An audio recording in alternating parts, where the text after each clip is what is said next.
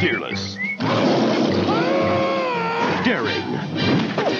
Jim Carrey is Ace Ventura, Pet Detective. Yes, yes, yes! Rated PG 13. Starts Friday, February 4th at a theater near you.